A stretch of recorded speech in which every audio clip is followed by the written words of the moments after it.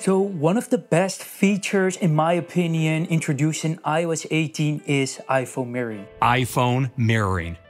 With iPhone mirroring on Mac, I can see what's on my iPhone and can control it too all while barely lifting a finger. I've been playing around for hours with this feature and I have to say I'm truly impressed by its capabilities and I'd like to share with you some of the best use cases for iPhone mirroring, why it's so useful, what people are using it for and why I believe this is the beginning of something totally new within the Apple ecosystem. And before we start, in order to launch iPhone mirroring or be able to use it, there are a couple of things you need to be aware of. First, you need to have a Mac with a Apple Silicon chip or a T2 security chip for Intel. You need to be running macOS Sequoia. Then it's also important that your iPhone is obviously running iOS 18. Even if you're able to run iOS 18.1, it's better because there are some massive upgrades to iPhone mirroring in that update. And lastly, it's important that both devices, so your Mac and your iPhone, are both logged in to the same Apple ID. Oh, and also important, two-factor authentication needs to be enabled on your Apple ID.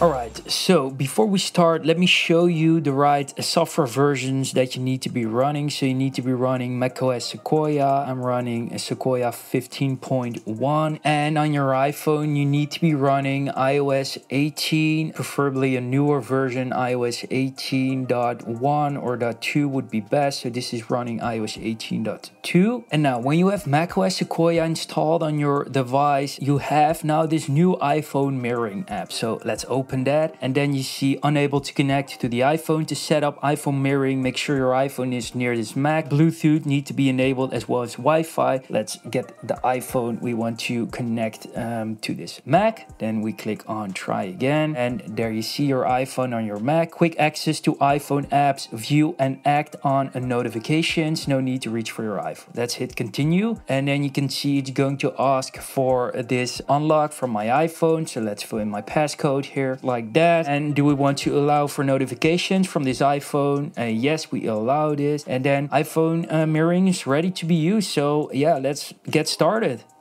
easy as that. It's now going to ask for Touch ID or the login from this Mac. So let's use Touch ID just like that. And there we go. iPhone is in use. So what we need to do now is just toggle this off and unlock the iPhone again. And then we hit connect and then we should be good to go. Just like that. It's going to connect to the iPhone 16 Plus here. Do we want to require to ask for authentication every time and time again. For me, it's fine. Ask every time. I don't have problems with that. And just boom, we're in. And as you can see here on the iPhone, it's saying iPhone in use. This iPhone is being used uh, by the MacBook Pro here. This on the side. Let me show you some amazing things you can do with iPhone mirroring. For starters, we can actually make this a bit bigger. So let's do that. Let's make this bigger.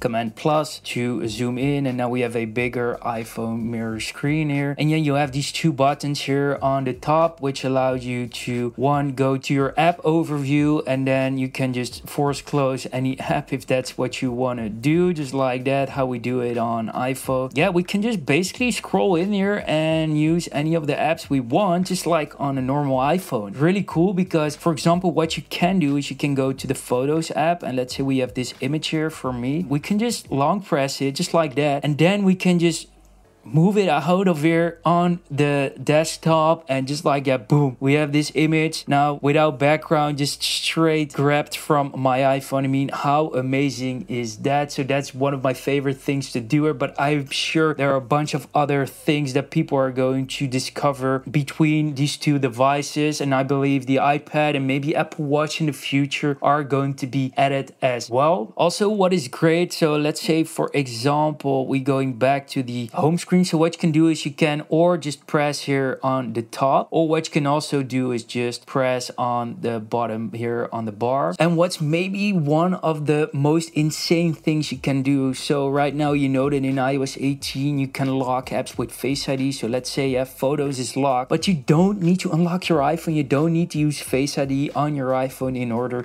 to access Photos. Touch ID on your Mac is sufficient to access this. That's really Apple ecosystem system at its best because I think this required an insane amount of engineering to create this feature. Other things you can do is, for example, uh, drag multiple selections of photos and videos so straight to your desktops. So let's say, for example, we have these four and we just want to just immediately grab, drop them here and then boom, just like that. You can see we immediately have so it. This is just and the dock image as well. So let me briefly go over why people would think this would be helpful for them to use. Well, first of all, you will have access to iPhone apps on your Mac. So for example, Image Playground is not available on a Mac, but it's available on iPhone and we can just use it like that on our Mac. So if there are any apps that are running on iPhone or available only in the iPhone App Store, then you have access to it on your Mac through iPhone mirroring. Next, what might be helpful is let's say you need to charge your device, your iPhone, and you don't want to use it, then you have the possibility to just bomb.